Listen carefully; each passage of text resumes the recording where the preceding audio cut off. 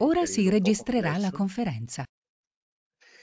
Allora, eh, il tema di oggi è un tema al quale siamo particolarmente legati perché non tratta solo ed esclusivamente strumenti, strategie logiche, eh, operative, ma mh, anche aspetti eh, come definisco di carattere olistico, olistico olos, omnicomprensivo, dove comunque la condizione, lo stato di benessere all'interno di una struttura aziendale diventa il principale motore eh, sul quale andare a sviluppare l'innovazione. Quindi io mh, partirei subito e partirei subito con la nostra presentazione, dove eh, non a caso eh, il primo aspetto che vogliamo considerare sono proprio gli effetti del lockdown. Il, questo lockdown ha eh, creato due eh, condizioni, diciamo, particolari che, si sono, mh, mhmm, che si muovono su due dinamiche molto eh, diverse e che hanno avuto anche un effetto molto importante. Allora, diciamo che eh, la prima parte è legata alla capitalizzazione dell'esperienza, cioè quindi mh, mhmm, diciamo che ci sono persone che hanno eh, sviluppato in questo periodo una, una, una consapevolezza riguardo a la condizione in cui stavano lavorando, la condizione della loro vita, quindi hanno approfittato di questo lockdown come un'opportunità di crescita, quindi meditare sul passato e pianificare il futuro. Allora, parto da un presupposto, queste informazioni arrivano da cosa? Io mi occupo di consulenza da 20 anni e in questo momento sto operando in aziende che, come la vostra o come le vostre esperienze, hanno comunque eh, subito eh, l'effetto del Covid e eh, questo primo effetto ovviamente al di là della produzione viene, va ad impattare fortemente su quelle che sono le relazioni sociali e le relazioni tra team. Quindi mh, mhmm, per chi in questo momento ha affrontato questa, questa attività, questo, quest, questa crisi in una, in una condizione di, di capitalizzazione quindi che ha dedicato del tempo per capire a che punto era e che cosa intende fare in futuro, Sicuramente è una persona che all'interno dell'organizzazione avrà qualcosa da dare, ma dall'altra parte, raffrontandosi anche con un'organizzazione che in questo momento, eh, magari a livello prestazionale, questo lo vedremo poi anche nelle slide successive, non riesce a rispondere a quello che è la, la, la, propria necessità da un punto di vista di soddisfazione personale ma anche professionale, sicuramente eh, con il rientro e quindi con questa fase 2 o una fase 3 eh, rischierà di incorrere in problemi e l'azienda stessa potrà incorrere in determinati problemi. L'altro aspetto lo vediamo invece nel chi ha subito l'esperienza. Subire l'esperienza che cosa significa? Somatizzare l'ansia. Eh, diciamo che dal, io mh, proprio la settimana scorsa ho partecipato a un piccolo convegno in Bicocca eh, dove proprio si andavano ad analizzare questi due aspetti, ma nello specifico come chi oggi sta somatizzando l'ansia, innanzitutto stiamo parlando di un'ansia pregressa, quindi insoddisfazione su quello che era lo stato lavorativo precedente, eh, la posizione che ricopriva all'interno del team, e quindi che cosa è successo? Che ehm, al posto di entrare in uno stato di autoanalisi ha eh, iniziato a somatizzare, quindi ha iniziato a eh, accentuare quelli che erano degli stati di carattere depressivo e questo ovviamente l'ha messo in uno stato ancora di più di chiusura, considerando anche che ehm, l'elemento più impattante sul quale si va a ragionare in termini di risultato è proprio la paura del futuro. La paura del futuro diventa l'elemento focale sul quale eh, subire l'esperienza poi dà il, il suo, la sua massima espressione. Questo che cosa vuol dire? Paura del futuro vuol dire non solo rientrare all'interno di una configurazione aziendale che magari già di per sé non brillava di luce propria da un punto di vista di organizzazione, da un punto di vista di relazione, ma eh, anche paura di che cosa gli aspetta il futuro alla luce già di una condizione somatizzata, complessa, e quindi dove lo stato d'ansia andrà a precludere, non è come dire, vabbè, eh, abbiamo fatto un, due mesi di ferie, un mese di ferie, eh, abbiamo messo in congelatore tutte quelle che potevano essere problematiche e adesso le tiriamo fuori. No, la, quello che oggi si sta presentando, e di casi ce ne sono parecchi, è che quello che prima avevo, diciamo, sopportava, nel momento in cui ha iniziato a somatizzarlo e quindi è diventato una condizione di eh, paura di ansia, paura del futuro e ansia per quello che stava accadendo, nel momento in cui poi ritorno all'interno dell'organizzazione eh, diventa molto più pesante, tanto è vero che in diverse organizzazioni che sono state prese come, come d'esame sono per esempio arrivate, al contrario di, di quello che, potrà, che possono essere le aspettative, per esempio delle richieste di licenziamento, di riposizionamento all'interno dell'organizzazione. Quindi entriamo un attimino alla luce di questi due aspetti, di questi due effetti, e quindi ehm, ovviamente eh, come anticipava Alicia, poi ehm, potete tranquillamente le mettere le domande in chat, postare le domande in chat e poi man mano andremo a rispondere. Però andiamo un attimino ad entrare più nel, nel concetto di eh, team efficace. Allora, prima di tutto una grande impresa non si compie mai da soli.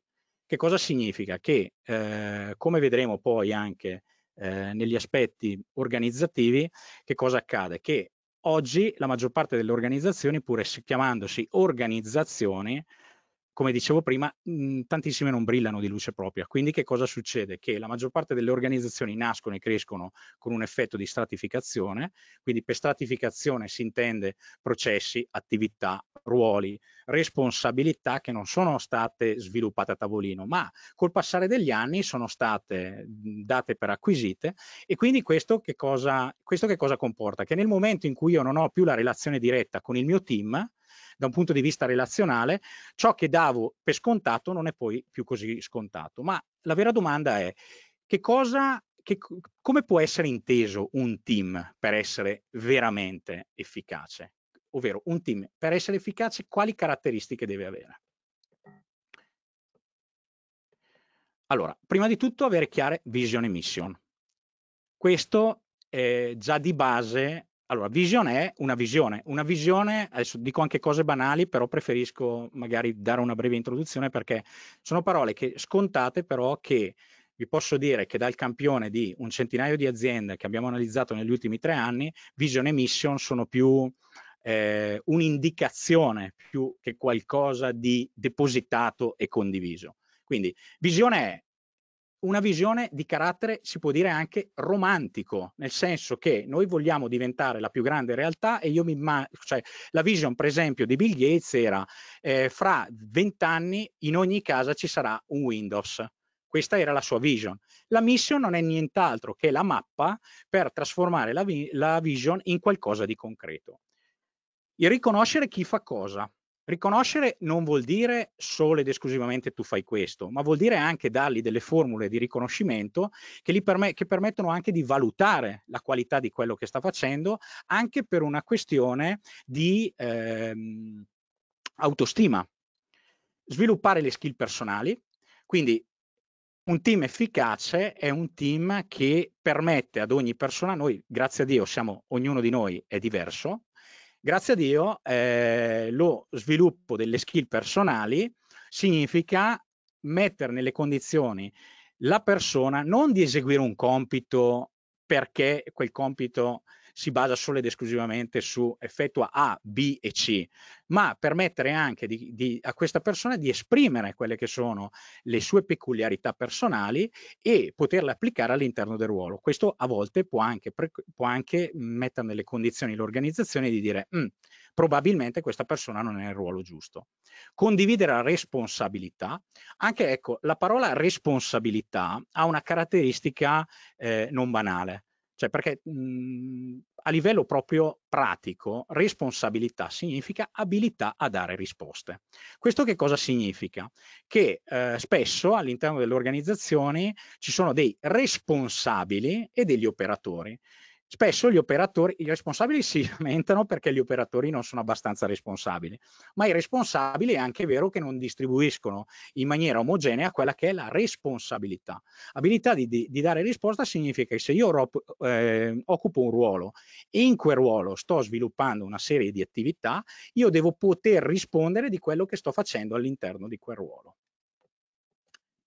Detto questo, efficacia del team. Quindi Efficacia del team vuol dire che se io garantisco tutti gli aspetti che abbiamo visto finora, il team funziona. Differentemente, il primo aspetto sul quale vado a pesare è l'aspetto in, eh, di, di relazione e quindi interpersonale. Ovviamente questo impatta tantissimo sulle attività e torniamo alla condizione che stiamo vivendo in questo momento. Se io non ho una buona dinamica, che quindi se io non ho garanzia che tutti questi aspetti non sono presenti e consolidati all'interno dell'azienda, anche solo uno di questi, se manca uno di questi, significa che nel momento in cui io sono obbligato, come in questo caso, e sicuramente nel futuro, nel prossimo futuro ne vedremo delle belle, di eh, rivedere la mia attività, la mia configurazione, le, ciò che in questo momento eh, intendo come operatività a distanza o in parte, cioè quindi non totalmente a distanza, ma pensiamo solamente a, tutte, eh, a tutto l'extra produttivo, che cosa succede? Che eh, la condizione è questa, cioè mi trovo ne, ne, più nel subire l'effetto del quello che dicevamo prima, cioè mi trovo più a subire un effetto piuttosto che vederlo in termini positivi e poter ovviamente uscire in termini di ehm, resilienti, quindi potendo trovare dietro a una difficoltà latente come quella che stiamo vivendo una soluzione, perché se il team non mi garantisce quegli aspetti difficilmente riuscirò a trovare una via d'uscita per conto mio. Ma perché? Perché stiamo parlando di tanti individui che fanno tante cose, non di un team. Quindi, detto questo, vediamo un attimino di ripianificare il concetto eh, di impresa. Questo in che modo? Innanzitutto eh, devo partire dal presupposto che in un momento come questo, dove i valori personali eh, sono balzati in testa tutto, ma perché? Perché in questo periodo eh, le nostre priorità di vita sono cambiate totalmente. Molti di noi hanno perso delle persone care. Quindi che cosa vuol dire? Che se io non ripenso alla mia impresa in termini di mission e vision, quindi un percorso di analisi dei valori delle azioni, ma soprattutto non le condivido, molto probabilmente le persone, noi stessi che siamo stati toccati profondamente da questa esperienza, rischiamo di dire no, mm, io oggi voglio vivere la mia vita diversamente, perché non posso più vivere per la mera paga. Questo, mh, mm, vi sto dicendo questo mm, perché eh, già questi dati eh, vengono rilevati con una certa, sono dati importanti, cioè eh, dove, come dicevo prima, ci sono persone che stanno facendo delle scelte di vita diverse, cioè imprese che si trovano nella condizione di dire non possiamo più contare su queste persone perché queste persone stanno facendo delle scelte professionali diverse. Quindi è fondamentale ripartire da lì, ma non solamente dirselo, ma anche condividerlo soprattutto se oggi non possiamo lavorare gomito a gomito. Quindi sono i valori che ci tengono uniti. Ok? Altro aspetto è il flusso di comunicazione di processi e qua ce ne parlerà benissimo il, eh, sicuramente Andrea. E, ehm, quindi flusso di comunicazione e processi vuol dire che bisogna innanzitutto rivalutare i bisogni in termini di processi, staff e strumenti, ovvero quello che facevo prima, come lo facevo prima, aveva una caratteristica non banale, che eravamo tutti qui e eh, chi più chi meno aveva abbastanza le idee chiare. È ovvio che quell'abbastanza, e torniamo agli elementi che fanno l'impresa che abbiamo visto prima, se non sono così chiari, a questo punto il rischio è che vado a subire quello che sta accadendo. Lascio la palla a te Andrea per poi eh, riprendere alla luce delle, considerazioni che poi farai. Sì, grazie. Provo a condividere dovresti poter muovere anche le slide. No, guarda che dovresti poter muovere anche le slide. Eh? Le tue? Sì, eh. No, perché ho, ho, già condiviso le mie. Sì, no, no, non ci siamo accordati sul processo. Vedi, funziona proprio così. Non ci siamo accordati sul processo e quindi il processo non dico che non funziona, ma funziona di Scusate che... Allora vado avanti con le mie, cosa dici? Come vuoi. Ok. Vai, vai, vai, hai già, hai già preso il... Sì, sì, perfetto. Allora, due parole eh, su, su, chi sono. Sono Andrea Pasotti, in CSMT sono responsabile del centro di competenza eh, che si chiama Innovazione Gestionale del Management, che in buona sostanza coincide con l'ingegneria gestionale e, e, tutte le sue applicazioni, principalmente rivolte diciamo, a, alla digitalizzazione ultimamente e, e, che si basano comunque su, sull'interesse de, de, del miglioramento di processo appunto. Quindi eh, mi collego a quello che diceva Alfredo poco fa sulla comunicazione.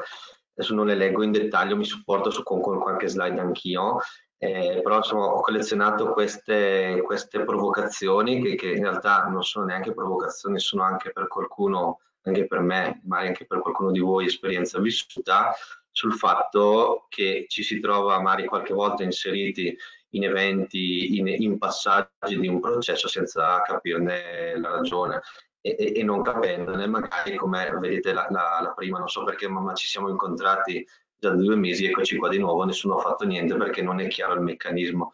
Eh, oppure a cosa serve la riunione, le riunioni perde, sono perdite di tempo, dobbiamo lavorare.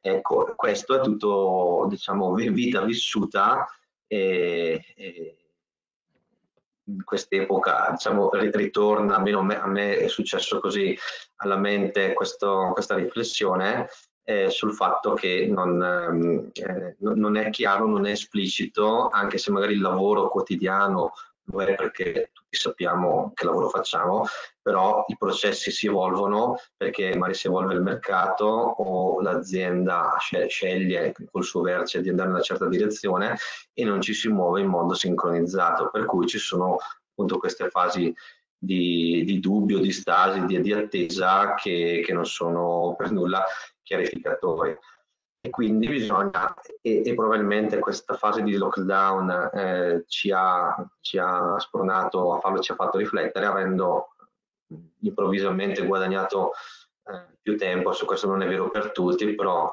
nella media sì, abbiamo tutti più tempo.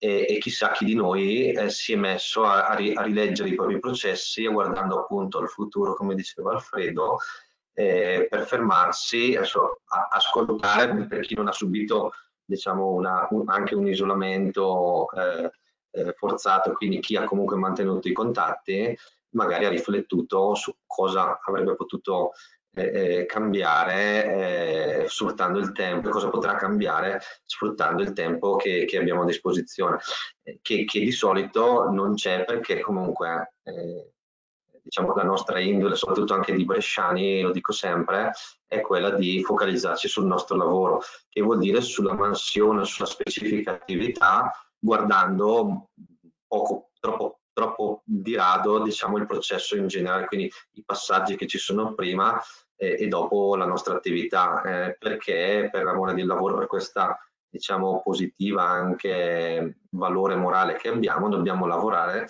in produzione, devo fare i pezzi, si dice, eh, non ho tempo di fermarmi a capire come migliorare il mio processo. Per cui eh, magari in questa fase di, di ferma forzata, eh, magari qualche riflessione l'abbiamo portata a casa. E la riflessione che volevo condividere con noi, senza certamente tenere una dissertazione tecnica sul business process engineering, che comunque eh, anche a me che lo faccio di lavoro mi si è riconfermato eh, volevo proporvi questa rilettura, quindi quando, eh, quando si può dire che le cose funzionano, comunemente detto successo, quando ovviamente ci sono dei processi che eh, in modo più o meno formalizzato sono rispondenti della, della risposta dell'azienda ai, ai, bisogni dei clienti, del mercato o anche esigenze interne. Quindi tutti sappiamo, dobbiamo sapere eh, che cosa stiamo svolgendo, perché lo, lo, lo dobbiamo svolgere che cosa c'è prima di noi, quindi i nostri fornitori in un, in un ipotetico processo informativo, non, non, trasformiamo certamente i materiali ma le informazioni sì, i nostri destinatari che sono i, il cliente fondamentalmente delle, delle informazioni. L'organizzazione, già ne ha parlato Alfredo, ovviamente sì perché ehm, è inutile trovarsi con ruoli duplicati o non sapere bene che cosa si debba fare e avere anche tanta come si può dire, indole al miglioramento, la curiosità di come si può fare sempre meglio, diciamo, faccio riferimento ai concetti molto noti del, del miglioramento continuo, avere una tensione positiva verso comunque l'autocritica e, e il miglioramento dei processi dell'organizzazione. Oggi sì, probabilmente più di prima o per chi eh, ancora magari si, si trovava in una condizione di di riflessione, di, di scetticismo, le tecnologie sono un fattore che potenziano questa, questo funzionamento, questo diciamo così, eh, tensione verso il successo eh, che la, la, fermata ci ha reso visibile. Quindi eh, già, già, pensiamo oggi, oggi questa, questa mh, probabilmente il forum, il, il, webinar di oggi non l'avremmo tenuto se non, non, ci fossero state le condizioni di, di emergenza. Già io e Alfredo in passato abbiamo tenuto eh, diciamo, relazioni di questo tipo in altre sedi, ma, ma quando anche fosse eh, l'avremmo fatto direttamente, ci saremmo visti in una sala, oggi siamo costretti a, a farlo da remoto. Senza la tecnologia sto, mi sto, so che sto dicendo una banalità, ma, ma probabilmente non è così eh, in tutte le sfaccettature di tutti i processi delle aziende, questo fa la differenza. Quindi ci vogliono tutte e tre. Quindi nello specifico però cosa si intende per processo? Si intende diciamo, una serie di attività che di solito sono svolte in serie con, con, anche un po' di parallelismo da delle persone che hanno riconosciuta una certa competenza che assolve uno scopo. Ad esempio il processo di fatturazione ha come obiettivo, non come magari comunemente si pensa non è tanto l'emissione della fattura al cliente quanto il pagamento, già avere in mente un processo che, che è banale se volete, che è anche stato oggetto di, di informatizzazione anche da parte dello Stato con la fatturazione elettronica, già dire che l'obiettivo del processo di fatturazione è portare a casa eh, un incasso è molto diverso e responsabilizza in modo molto diverso eh, dire che lo stesso processo ha come obiettivo l'emissione di una fattura a cosa serve rimettere una fattura se poi l'incasso non avviene. E già chiarire questa cosa in azienda responsabilizza appunto le, eh, i, le persone e probabilmente eh, predispone l'organizzazione a istituire anche un'attività nel processo che è quella del sollecito, del recupero del credito, comunque del monitoraggio di questo passaggio interessante ma, ma ultimo che è il pagamento. Eh, l'organizzazione cosa si intende? Quindi quando eh, il processo è definito, eh, si fa di solitamente dopo, si vede che chi per competenza, per età eh, o per autorevolezza dentro l'organizzazione ehm, viene posto in una gerarchia di comando che ne facilita eh, l'evasione, facilita l'evasione del processo. Quindi come organizzazione noi intendiamo fondamentalmente la divisione dei ruoli e la catena di comando. Come processo sono le attività eh, operative quanto basta, quindi anche il processo di definizione della strategia aziendale è un processo, ma è molto più astratto che eh, diciamo effettuare una spedizione, mettere una fattura, emettere un ordine di acquisto, eh, eccetera. Quindi come business process engineering si, si intende di solito una riprogettazione con l'aggettivo radicale davanti, quindi non un miglioramento, una variazione minima, che quella è bene che ci sia perché comunque le, le tecnologie progrediscono e la gente fa esperienza e quindi diciamo, dovrebbe essere una mala amministrazione. Si fa un BPR quando è necessaria una, una riprogettazione che ha una certa incisività sulle attività e sulle persone che poi la, la devono eseguire e per lungo tempo anch'io mi sono, mi sono eh, diciamo, all'inizio della professione interrogato su quali potevano essere i criteri per migliorare un processo, posto che per stampare la plastica, quella è la tecnologia, quello è il processo, la logistica è definita di un conto terzista, quindi eh, però com'è che si fa a vedere qual è la, la direzione da seguire quando si vuole fare un miglioramento di processo? Eh, i, i, due driver principali sono quelli di efficacia ed efficienza, quindi il processo deve comunque servire un cliente, questo è, è preponderante, quindi devi misurare il livello di servizio, che è un processo di vendita vuol dire di, di, di un magazzino che vende a stock, vuol dire non rimanere mai eh, sotto, sotto, scorta, piuttosto che in un processo, un un'attività di service eh, di manutenzione sarà comunque riattivare la risorsa, la macchina che sia guastata prima possibile e poi c'è tutto un aspetto di efficienza, quindi a parità di obiettivi soddisfatti verso il cliente del processo, che molto spesso è il cliente finale, ma può essere anche un cliente interno, quindi un nostro collega che si aspetta di ricevere certi output, certe informazioni o anche certi oggetti o materiali e quindi quella di riflettere rispetto a, quello che è l'obiettivo del processo eh, la natura dell'attività stessa. Ad esempio, se nel processo di fatturazione l'obiettivo finale è portare all'incasso, tutto ciò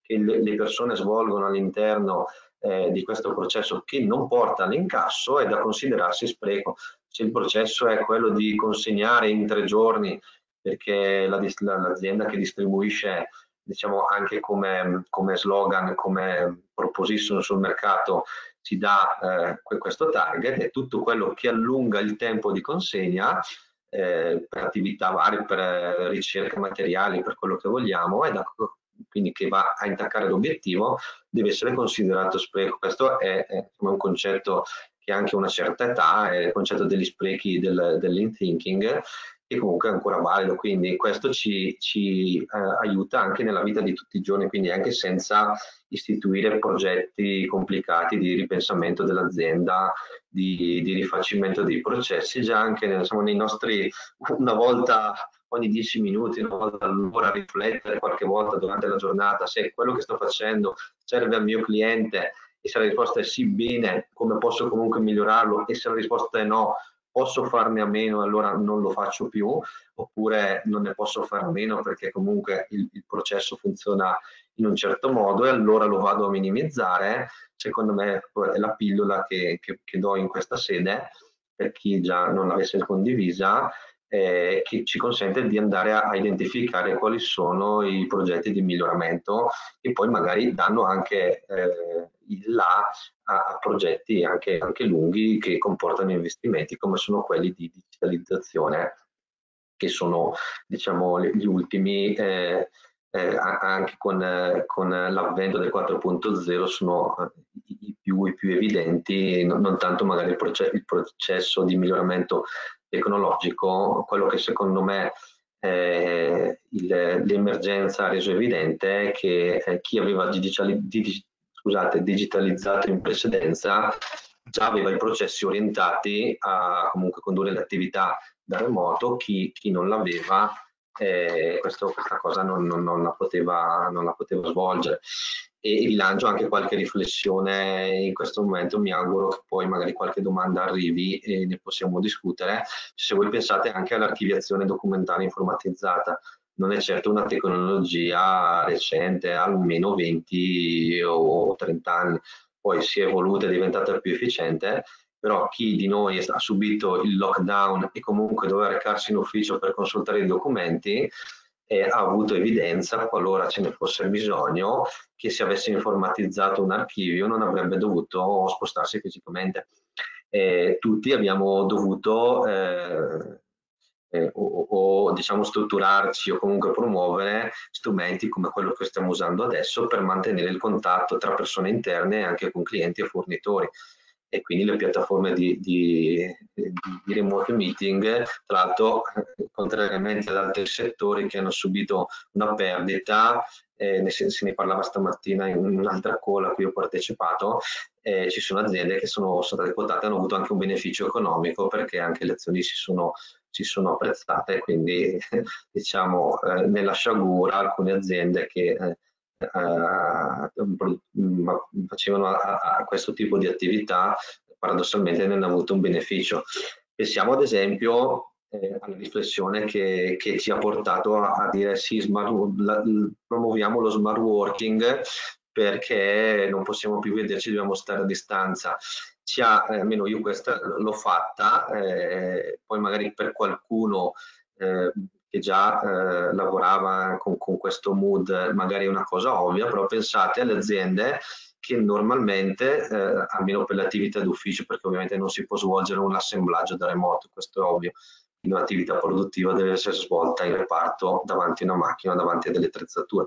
Poi diciamo per tutte le attività che comunque possono essere remotate, pensate a un'azienda che da sempre è abituata a pagare le ore delle persone adesso diventa molto più difficile, al di là di magari di avere la timbratrice eh, informatizzata dal telefonino geolocalizzata, che è anche questa tecnologia che non è nuova. Però pensate al cambio di mentalità eh, per, sia, sia, per chi lavora che deve, che deve dimostrare all'azienda che il lavoro l'ha svolto, sia per chi poi lo remunera, passare da un ti pago le ore a sì, fammi sapere le ore, però gestiscile con flessibilità, l'importante che, che tu raggiungi l'obiettivo e quindi eh, il lavoro per obiettivi non è affatto nuovo, però anche questa è una riflessione che volevo fare con voi, l'emergenza, la distanza forzata ci ha portato a pensare e chi era già strutturato probabilmente non ha mh, fatto questo salto di, diciamo così, mentale o ha dovuto investire, chi invece era rimasto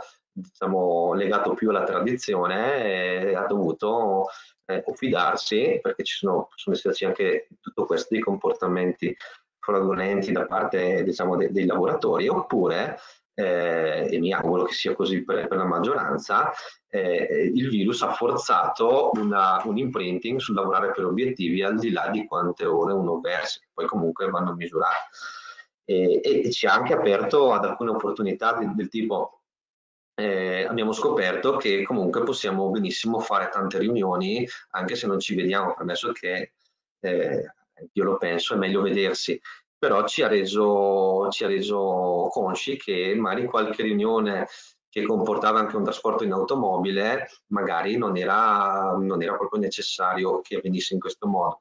E questo, eh, la slide che avete davanti, l'ho lasciata apposta, è ragionare in questo tipo, quindi lo spreco di trasporto è anche canonizzato la Lean eh, si può ridurre a patto di impararsi qualche strumento e diventare più smart nella, nella conduzione dei, comunque delle, delle, riunioni o degli incontri a distanza. Un'altra opportunità è quella comunque di, eh, diciamo in modo, come si può dire, indiretto, risparmiare di, di su una certa porzione di risorse, pensate a chi prima lavorava, eh, cioè chi lavora in ufficio, il tempo di trasporto, alcuni di noi anche due ore al giorno le passano in automobile. Adesso questo non è, non è, più, non è più, possibile o non è più opzionato o non è più opzionato così, in maniera così forte. E questo è tutto tempo, due ore al giorno, pensate, intanto sono salvate poi la, la, persona le può investire per attività proprie o le può lavorare, quindi ha tutto beneficio suo e dell'azienda, ma sono comunque due ore risparmiate.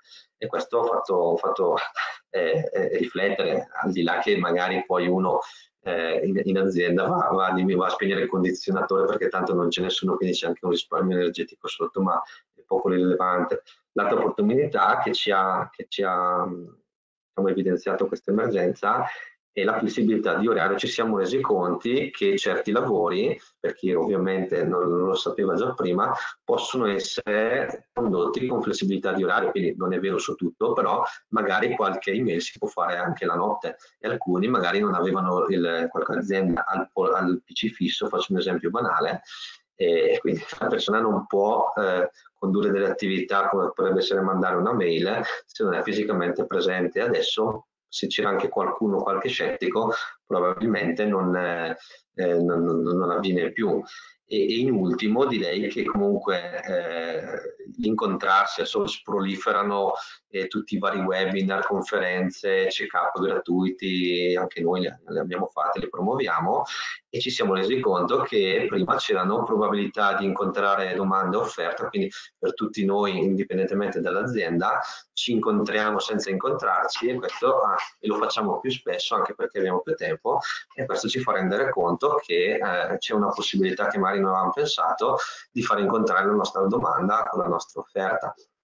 Ecco, una, una serie di riflessioni secondo me ci stavano bene qua mm, vado alla conclusione quindi qua è solo un esempio di eh, diciamo technicality di come si può migliorare un, un processo quindi va, va, mappato in qualche modo qui avete una slim lane chart eh, e una volta che è mappato eh, succede una, una, bella cosa, dico io, è che diventa visibile il processo, di solito soprattutto i processi che coinvolgono il personale d'ufficio, raramente si vedono una macchina che lavora, la vedi, un'automobile che si, si accresce durante la linea di assemblaggio, questa è una cosa visibile.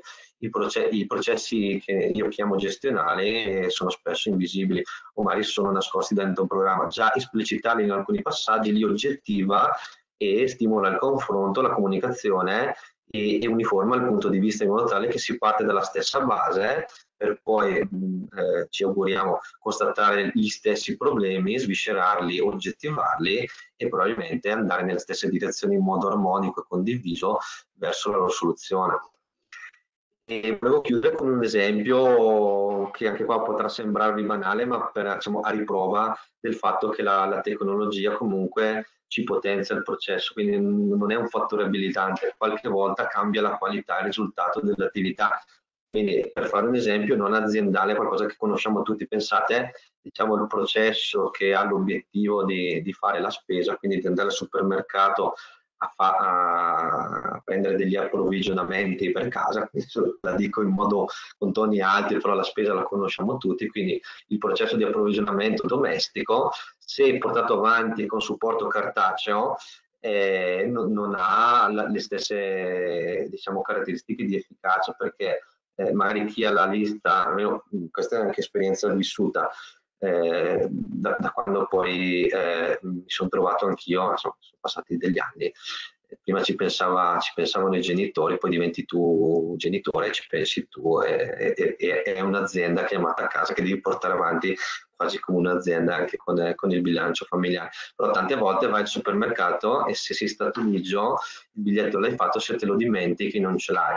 Eh, oppure non hai il biglietto sotto mano quando finisce un articolo, è finito l'olio, è finito qualche cosa, l'importante è che il, questo diciamo, ritorno nella sfera aziendale, nel momento in cui il fabbisogno si manifesta è bene tenere traccia per poi governare una, un acquisto. Quindi pensate, passare alla, questa è appunto la mia esperienza, eh, il telefonino probabilmente io non me lo dimentico quando vado al supermercato e se sono bravo e, e, e avere eh, diciamo, la lista della spesa informatizzata sul telefonino che è sempre in tasca, anche quando non sono dove ho il, il post-it per, per, scrivere la spesa, mi consente di registrare un fabbisogno nel momento in cui si verifica. Quindi come ha, che impatto ha questo sul processo di acquisto che ha l'obiettivo di, di approvvigionare le, i materiali che ci vogliono e probabilmente non ti dimentichi nulla e tieni sotto controllo le scorte. Quindi questo è anche diciamo abbastanza immediato trasportare questa cosa ne, nell'azienda, ma in azienda ovviamente ci sono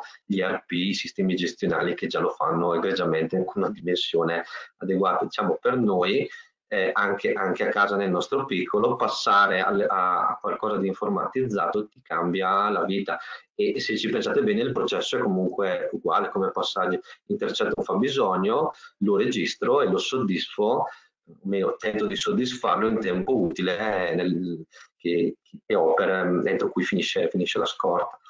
Eh, il, il, diciamo così, il rimaldello qual è? È aver voglia di farlo, avere appunto questa indole al miglioramento e non essere diciamo frenati da, eh, dal dover imparare un'applicazione nuova, una, esplorare una tecnologia nuova o il costo al di là della spesa gratuita e, e quindi diciamo essere aperti eh, al cambiamento per appunto come diceva Alfredo prima guardare al futuro l'emergenza eh, appunto avendo con, eh, creato queste condizioni appunto di, appunto di emergenza ha reso note, ha reso più evidenti e anche stressato e anche con effetti negativi ciò che comunque già si vedeva prima.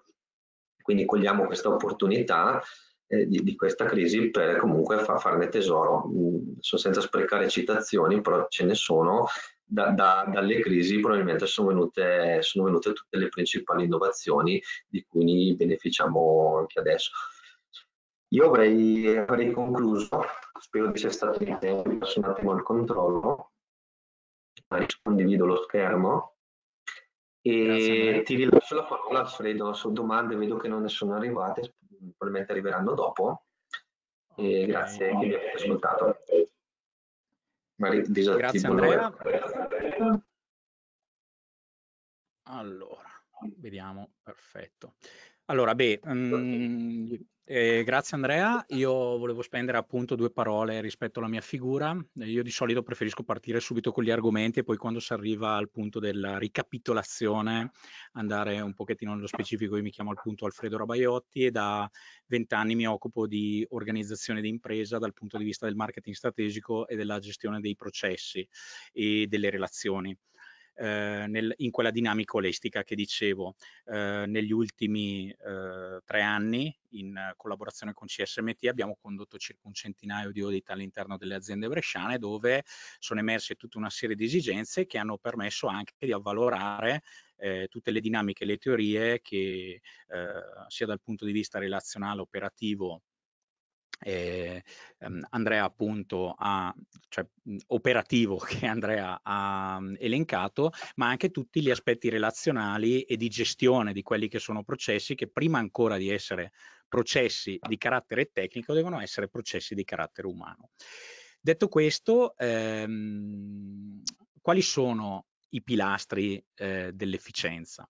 I pilastri dell'efficienza sono fondamentalmente quattro dove si parta dall'ascolto, quindi saper porre la giusta attenzione e intelletto a tutto ciò che avviene intorno a noi, sviluppando comprensione delle dinamiche causa-effetto. Quindi che cosa succede? Che eh, effettivamente, eh, la, l'abbiamo visto nella prima slide che ci ha proposto Andrea, cioè spesso non ci rendiamo conto che la soluzione ce l'abbiamo sotto gli occhi perché non ascoltiamo. Non ascoltiamo non vuol dire solo non ascoltiamo il nostro, il nostro eh, operatore, il nostro compagno, ma non ascoltiamo nel senso che non ci fermiamo a guardare che cosa a tutti gli effetti sta accadendo e perché sta accadendo, quindi condizione causa-effetto. Quindi comunicazione, sviluppare una forma di comunicazione chiara e pragmatica, codificata all'interno del contesto operativo. Quindi che cosa significa? Eh, noi questo lo viviamo negativamente, per esempio, con eh, le email. Per esempio, le email sono, secondo me, il, eh, il male eh, contemporaneo, ma perché? Perché, eh, esempio banale, vi sarete trovati magari in una situazione eh, come questa più volte eh, state gestendo tre, attività, mh, mm, tre clienti, di questi tre clienti ognuno ha due attività, lo scambio parte viene sviluppato tramite email, eh, tutte le volte che mi arriva un'email devo vedere di che cosa sta parlando, eh, se effettivamente devo coinvolgere qualcun altro perché magari in quell'attività non eh, sono coinvolto solo io, non sono ingaggiato solo io, pensate a qualsiasi tipo di, di, relazione che può essere una relazione tecnica dove magari però anche il commerciale deve poter eh, essere ingaggiato.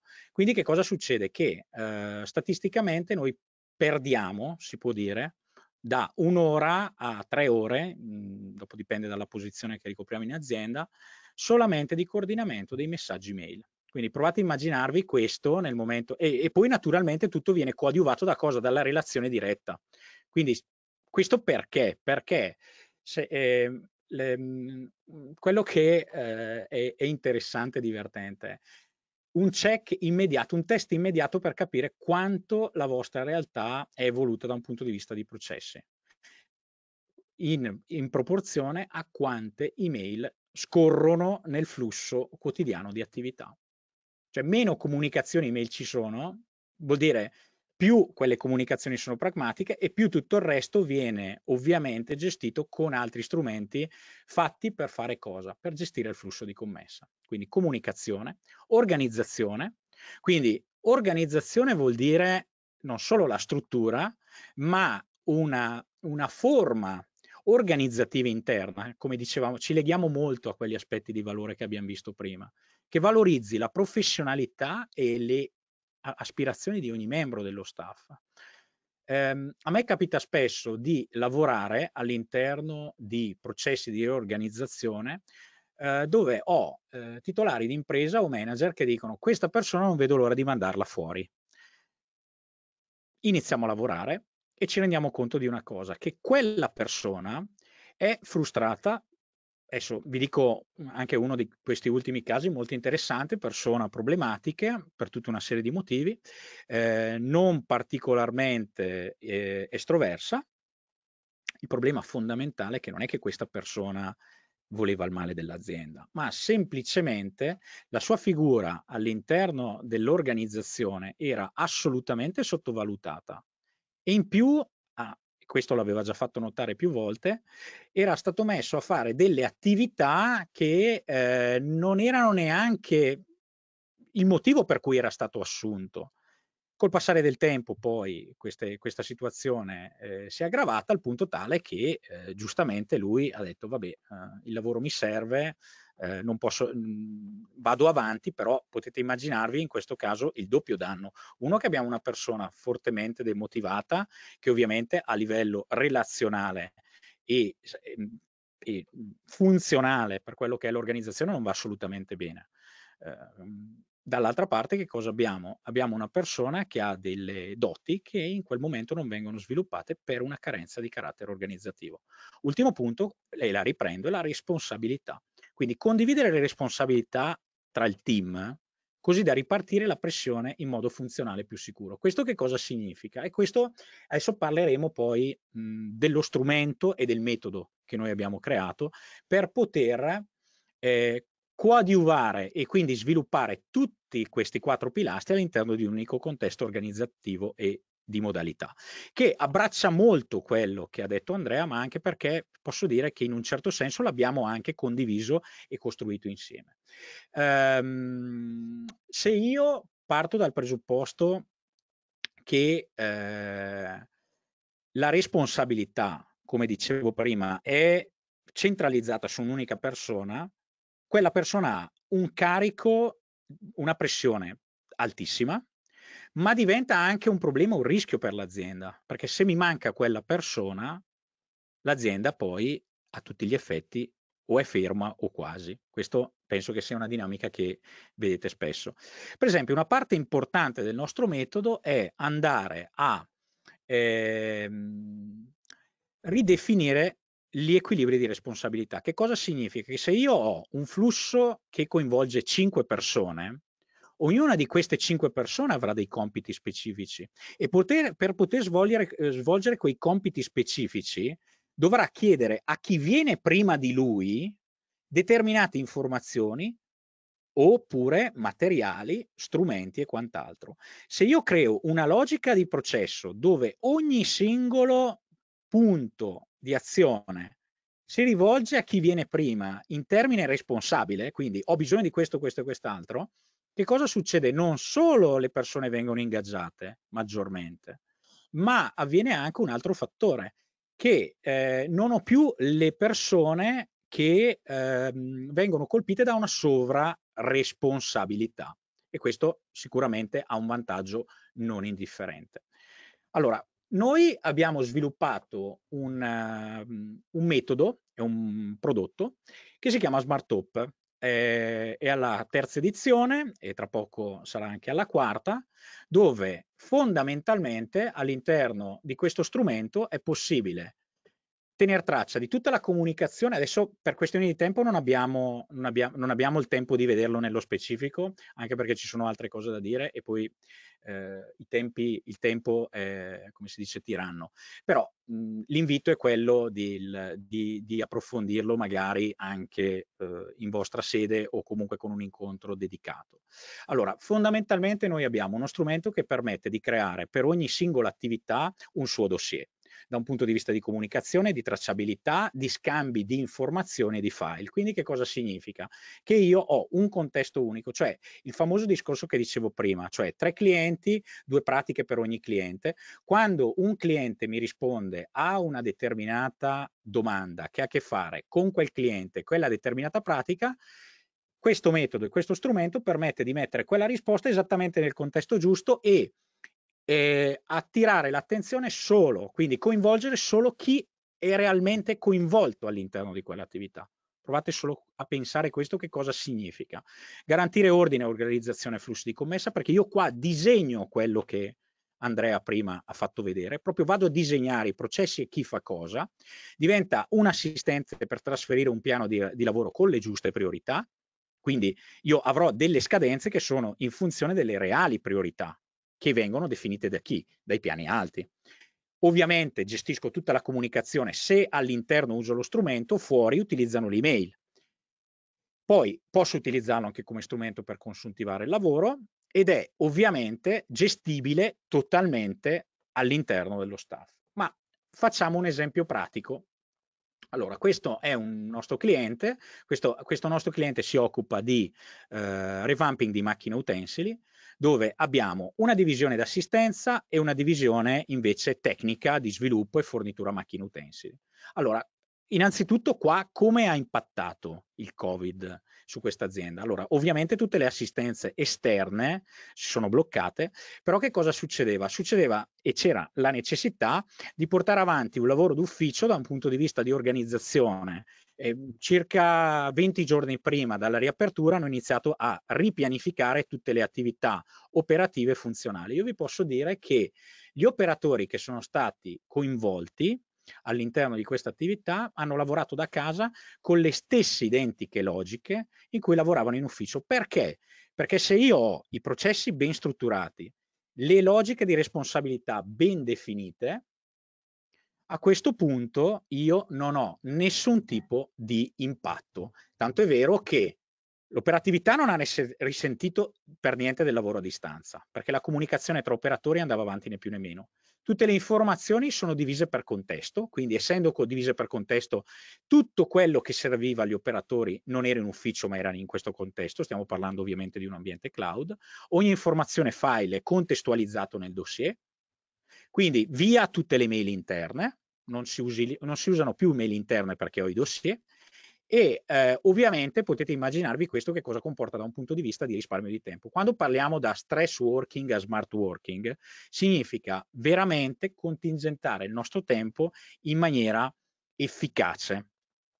Detto questo, poi mh, posso dire che ci sono tantissimi altri casi documentati ma eh, la cosa secondo me più importante è, è, questa. Allora, sempre in collaborazione col CSMT, eh, noi, come dicevo, da tre anni abbiamo portato e stiamo portando avanti eh, questo percorso di, ehm, di, ottimizzazione non solo di processi, ma anche di relazioni, eh, di, per consentire all'impresa di ottenere ciò che merita.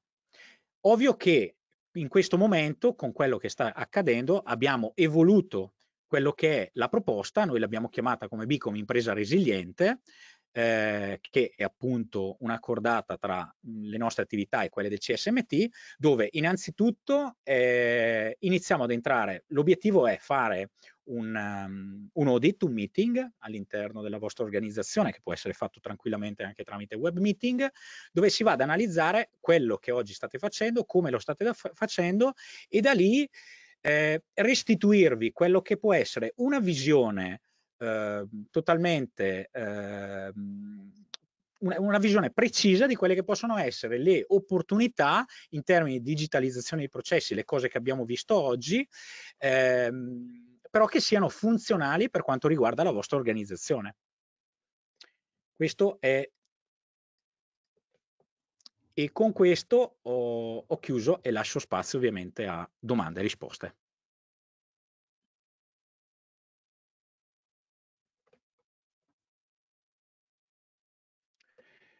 Ok. Mi, eh, magari approfitterei eh, Licia, sei con noi? Sì, certo. Eccola qui.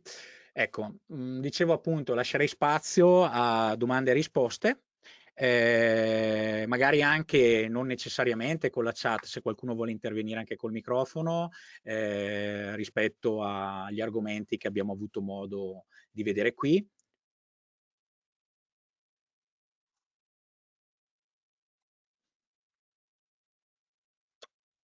Andrea, o è tutto troppo chiaro o non siamo stati chiari per niente.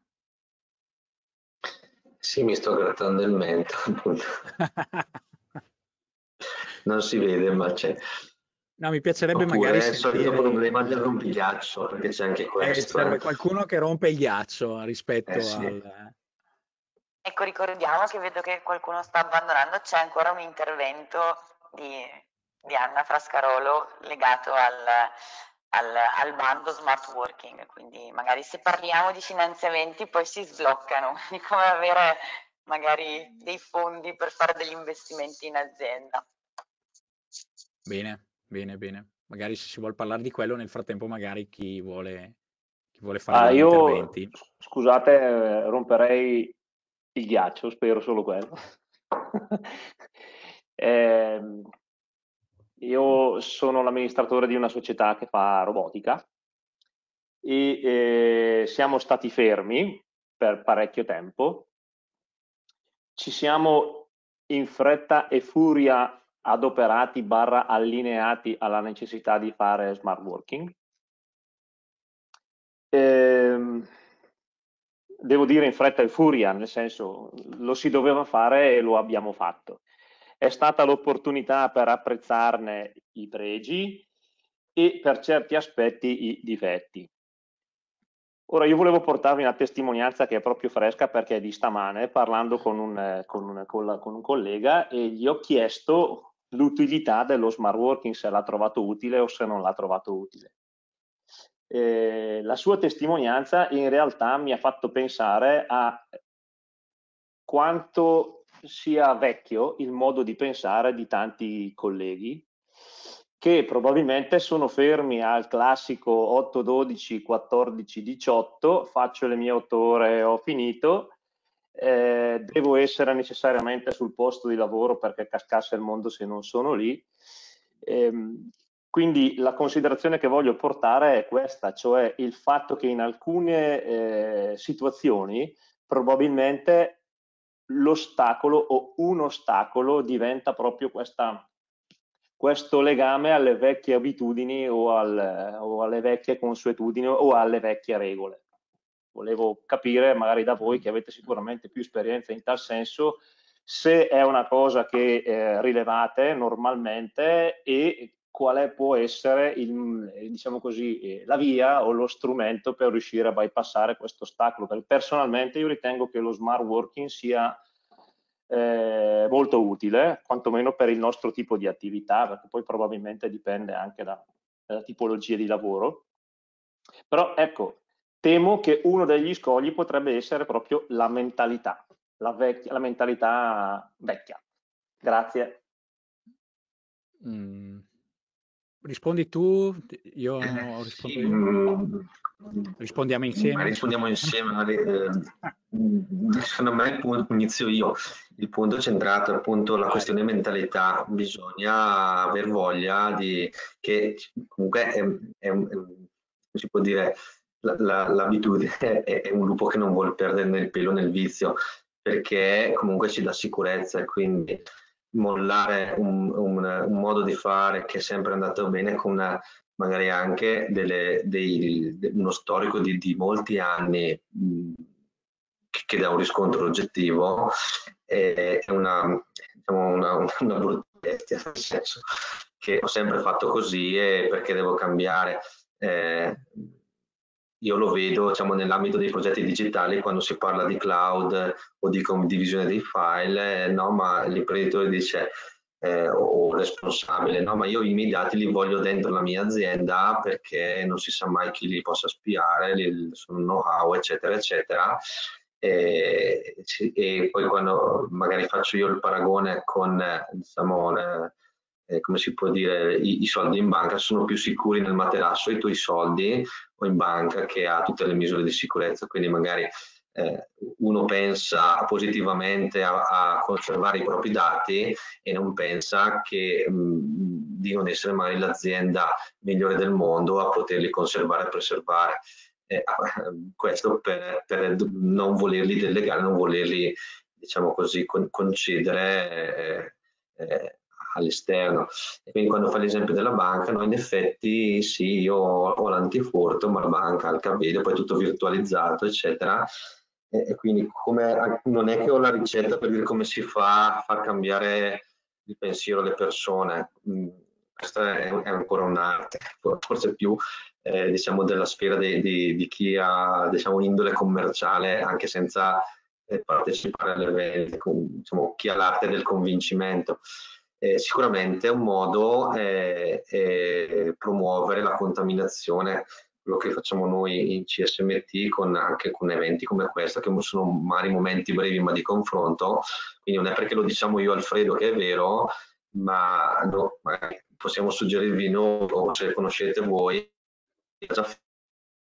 mettetevi in contatto, quindi fate parlare la persona che non è convinta e restia con qualcuno che ha già fatto il passo e allora, visto che eh, un terzo sicuramente non ha secondi fini eh, di vendita o comunque diciamo economici, quindi anche in amicizia questo lo, lo, si può fare, noi lo facciamo con visite aziendali. Eh, devo mettere un sistema MES ma costa un sacco di euro, non so i vantaggi, i vantaggi sono latenti, non sono tangibili, ecco, vai da uno che ce l'ha da 10 anni che ci ha costruito anche un sistema premiante per cui rileva i dati dalle macchine, le persone non, non, non, lo sentono più, il sindacato è a posto perché con il sindacato è stato fatto un accordo, il processo è chiaro a tutti, è trasparente, le persone vengono premiate perché rispettano degli standard. Quindi dall'imprenditore eh, a, a, tutti gli operativi sono contenti nel, dell'opera di informatizzazione. Eh, io so, rispetto... Se tu vuoi aggiungere qualcosa. Sì, allora io spesso, eh, assolutamente eh, spezzo una lancia in favore agli imprenditori che in questo momento sono eh, resti al cambiamento. In che senso? Che eh, questi 15 anni di attività all'interno delle imprese eh, mi hanno messo in relazione con tantissimi imprenditori che sono stati disillusi dalla tecnologia. Ma perché? Perché ci sono state, sono state fatte delle azioni di acquisto software, o meglio delle vendite su software che promettevano mari e monti e poi alla fine il risultato è che hanno continuato a lavorare con i fogli Excel. Allora, per rispondere a ciò che diceva eh, appunto Conforti, che ringrazio per la domanda molto intelligente, è proprio il, il concetto che l'atteggiamento, che poi l'atteggiamento che diceva Andrea, deve essere fondamentale. L'atteggiamento è entrare in azienda, fare un'analisi, capire bene che cosa serve all'azienda da un punto di vista di gestione di strumenti, processi e quant'altro, sempre per stare sui quattro pilastri e sugli aspetti pragmatici della vera organizzazione. Perché se io rimango lì e provo all'imprenditore che quello che stiamo facendo va in quella direzione, a quel punto lì io vi posso dire non ho mai trovato un, un, ostacolo. Perché? Perché le risposte che devono arrivare non devono essere delle risposte, mh, tra virgolette, ehm, fantasiose o delle promesse, ma devono essere dei fatti e dei numeri ben chiari. Ecco, questo è.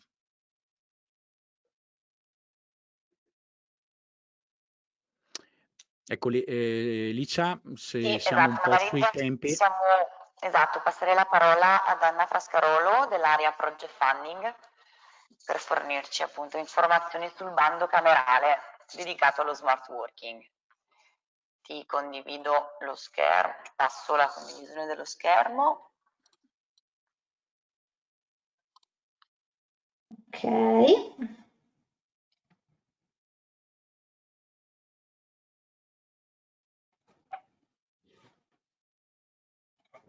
Eh, lo vedete? Sì, se puoi allargarla a schermo intero così. Perfetto. Ah, tu hai sempre lo stesso, il solito problema che vedi, vediamo. Ho la... disattivato il doppio schermo per la verità, però non cambia niente. Mi sono premunita di farlo questa volta e adesso mi si è acceso anche il secondo schermo, anche se era disattivo. Eh, vedete o vi crea problemi?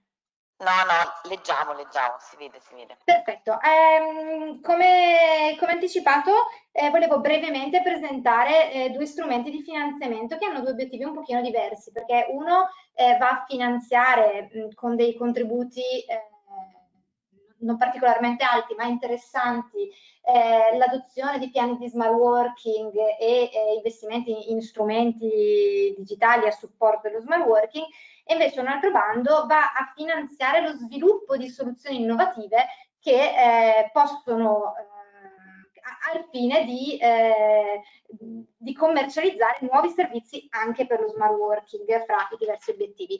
Parto dal, dal primo bando che è quello eh, promosso dalla Camera di Commercio di Brescia eh, che ha appunto fra gli obiettivi quello di promuovere l'utilizzo dello smart working e la diffusione delle tecnologie digitali. Eh, sono ammissibili a questo contributo eh, le micro e le piccole e medie imprese eh, bresciane, quindi devono avere la sede nella, nella provincia di Brescia e eh, va a coprire eh, parte delle spese effettuate per, degli, per gli investimenti fatti nell'anno 2020. Il bando va a coprire diversi tipi di, di investimenti, diversi tipi di, di progetti. Eh, il, il, primo è quello relativo alla misura 1, va proprio a, a finanziare servizi di consulenza e formazione finalizzati all'adozione di un piano di smart working e anche l'acquisto di strumenti tecnologici per l'attuazione del piano di smart working. Eh, la seconda misura va a finanziare gli investimenti di innovazione in ambito digitale, quindi consulenza, formazione, attrezzature tecnologiche eh, per progetti di digitalizzazione dell'impresa legate quindi alle tecnologie 4.0.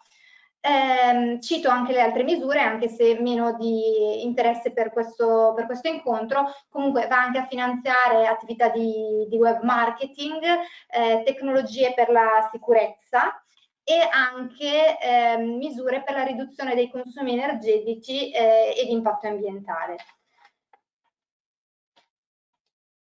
per quanto riguarda in particolare i, i progetti di eh, digitalizzazione delle imprese, le attività di consulenza e formazione devono essere erogate da dei fornitori qualificati. Fornitori qualificati eh, che come vedete comprendono i Digital Innovation Hub, i centri di ricerca e trasferimento tecnologico, i competence center, ehm, i Fab Lab eh, e, e altre tipologie eh, per cui ad esempio eh, CSMT rientra fra le categorie di eh, fornitori qualificati per l'erogazione di questi servizi. Eh, cosa, in cosa consiste il contributo? Il contributo consiste nel 50% del costo sostenuto, ehm, però c'è un massimale che come vedete no, non è altissimo, per cui a seconda delle misure si varia dai 5.000 a massimo 10.000 euro di contributo da parte della Camera di Commercio a fronte di una spesa minima ammissibile di 1000 euro.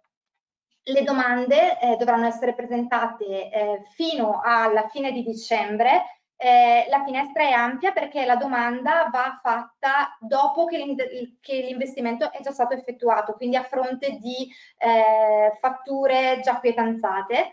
Ehm, però, eh, questo è un po' il limite del bando, eh, poi le domande verranno valutate in ordine cronologico di presentazione, quindi eh, insomma sono premiati di fatto gli investimenti più, più rapidi.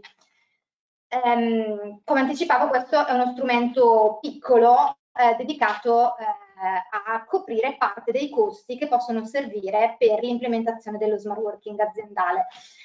Eh, per quanto riguarda l'altro bando di cui eh, facevo cenno prima, è un bando promosso questa volta da Union Camere Lombardia eh, che ha fra gli obiettivi proprio quello di sviluppare soluzioni, prodotti, servizi innovativi focalizzati alle tecnologie digitali. Eh, però in particolare si parla anche dello, di stimolare il trasferimento di soluzioni e innovazione che eh, favoriscono logiche di filiere produttive o di smart working. In questo caso lo cito, fra gli obiettivi del bando c'è anche quello di favorire lo sviluppo di soluzioni digitali in risposta all'emergenza Covid, quindi nella valutazione dei, dei progetti che verranno presentati, eh, che questa volta hanno proprio come criterio una valutazione a punteggio, quindi saranno premiati i progetti che vengono valutati migliori, eh, sono attribuiti dei punti di merito a progetti che eh, tengano conto di, dello smart working, sia finalizzati allo smart working e eh, alla risposta all'emergenza Covid. Eh, possono partecipare micro, piccole e medie imprese ehm, che eh, abbiano però già al loro interno anche delle competenze di sviluppo di tecnologie digitali, perché ricordo qui l'obiettivo è lo sviluppo di soluzioni innovative, non, di, non il acquistare tecnologie innovative. Eh, le imprese devono avere la sede operativa eh, in Lombardia e eh, gli interventi ammissibili sono quelli di sperimentazione, prototipazione e messa sul mercato di soluzioni, applicazioni, prodotti e servizi innovativi impresa 4.0. Eh, quindi devono eh, utilizzare una delle tecnologie 4.0, devono riguardare una di queste tecnologie ehm, e eh, però come, ricorda, come dicevo all'inizio punti di merito per soluzioni rivolte allo smart working. E in questo caso eh, il contributo che è sempre pari al 50% dei costi ammissibili però è rivolto a progetti di una portata diversa, infatti eh, l'investimento minimo richiesto di 40.000 euro e il contributo massimo eh, è di 50.000 euro, che quindi viene dato per degli, dei progetti che ammontano a 100.000 euro di spese. Eh, I costi ammissibili sono quelli di consulenza, che anche in questo caso deve essere erogata da fornitori qualificati dei servizi. Eh, non vi faccio vedere la lista, la trovate nelle slide, ma è equivalente a quella dell'altro bando. La formazione, gli investimenti in attrezzature tecnologiche e programmi informatici, i servizi e le tecnologie per l'ingegnerizzazione di software e hardware, le spese per la tutela della proprietà industriale e in questo caso vengono coperte anche eh, alcune spese di personale interno all'azienda. Eh, per un, eh, spese di personale sono riconosciute eh, per una quota pari al 30% della somma degli altri costi, quindi mh, mm, non sono cifre eccessive, però viene riconosciuto anche ehm, anche personale in coerenza con la richiesta fatta dal bando che eh, l'azienda, l'impresa eh, che presenta il progetto abbia proprio interno delle eh, competenze atte a sviluppare il progetto. Eh, fornitori qualificati ne abbiamo già parlato. Eh, questo bando scade il 30 giugno del 2020, eh, va a coprire costi eh, che sono stati sostenuti in modo retrattivo dal 2 marzo 2020 fino al 31 luglio del 2021, che deve essere la data termine dei, dei progetti. Eh, come anticipavo, il contributo è concesso con una procedura valutativa, quindi non, non conta l'ordine cronologico di presentazione delle domande, conta invece presentare un progetto che sia interessante, innovativo e competitivo ehm, il, il, procedimento di approvazione terminerà entro settembre, quindi a settembre si saprà quali progetti sono stati ammessi al contributo. Io in realtà ho finito, sono ovviamente a disposizione anch'io per eventuali domande. Possiamo anche tentare di mettere lo schermo se ci riesco. Mm. Ecco, mi viene una domanda da fare ad Alfredo e ad Andrea. Eh, il, più o meno, magari diamo qualche indicazione sulle tempistiche, quindi quanto tempo ci vuole per terminare, implementare un progetto di digitalizzazione dei processi in azienda, secondo eh, un po' quello che avete fatto fino ad ora. Dai, vai prima tu Alfredo. Hai spento il microfono, eh? Microfono disattivato. Scusatemi. Allora, beh, ehm, in termini pratici, il metodo che io che di solito seguo è mh, mhmm, partire da quei processi che oggi sono magari mh, mhmm, più critici. Quindi, allora, se pensiamo a un, di, a un progetto di implementazione di, di, dei processi in termini generali, eh, si parla ovviamente, può essere un lavoro di mesi, di anni. Eh, dall'altra parte la metodologia che noi oggi stiamo portando è una metodologia molto snella che permette di partire dalle criticità, iniziare a lavorare lì, anche godere del, de, delle logiche degli strumenti e anche quel, fare quel famoso click mentale eh, che permette anche di motivare poi tutto lo staff a, con, a continuare questo processo, però partiamo dalle criticità. Quindi indicativamente si può dire che i primi risultati possono avvenire anche nei primi tre mesi di operatività. Andrea? Sì, esatto. Mm, secondo me non è una cosa banale, salvo che sia molto circoscritta, direi che in qualche mese eh, complice anche la, la, metodologia, quindi diciamo un processo che, che serve, che noi abbiamo eh, maturato negli anni e collaudato eh, appunto, finalizza all'ottenimento, che sembra un'autologia, un processo che migliora i processi, in realtà è così, e quindi si va subito a, a definire con un'analisi di, di, qualche giornata le priorità aziendali, quindi salvo che magari ci siano, siano in auge di cambiamenti, non so, la, sta capitando proprio in questi mesi poi il lockdown ha un po' raffreddato tutto, un'azienda che vuole aprire un nuovo stabilimento vicino a Brescia, allora, allora è una cosa un po' diversa. Eh, però diciamo se si, la fluidificazione dei processi, quindi con anche l'ausilio magari di, una, di un software di workflow management, è qualcosa che sicuramente nell'anno deve essere portata a termine. Quindi da pochi mesi a un anno ci siamo. E magari non so se chi ha fatto la domanda poteva intendere anche questo, ma le, faccio Gigi Marzullo, me, me la faccio da sola, mi do una risposta, eh, sicuramente strumenti come quelli che ha definito Anna eh, aumentano anche il tempo di rientro dell'investimento, perché è vero che magari in otto mesi, in sei otto mesi digitalizzo gran parte dei processi aziendali, e quindi diciamo, i, i, benefici si vedono dal, dall'otto mese più un giorno in avanti.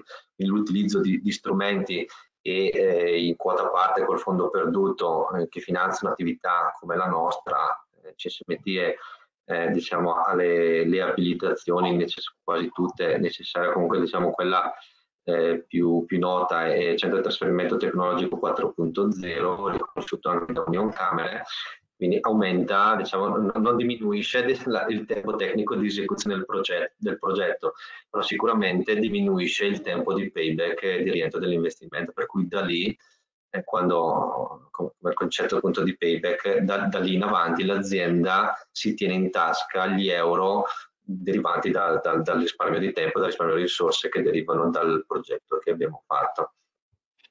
Ecco, se mi, se mi, permetti, giusto per fare un esempio pratico, avevo portato il caso di Ramazzini e Gidio, un, grosso, un problema grosso che loro avevano era tutto l'incoming di tutte le, le assistenze, perché uh, che impegnava tre persone tra ana- eh, raccolta, analisi delle esigenze e quant'altro. Abbiamo digitalizzato il processo, oggi, dopo, adesso sono due anni che c'è una persona dedicata a queste attività eh, la quale grazie allo sviluppo di una serie di processi ben definiti automaticamente rilancia le attività e, eh, la, e, gestisce anche contemporaneamente la comunicazione del cliente con conferme e quant'altro. Quindi eh, tempo di operatività tre mesi, tempo di ehm, ottimizzazione altri tre, però già in tre mesi avevano calato tipo il 60% del carico in termini di pressione eh, utente interno per gestire queste attività.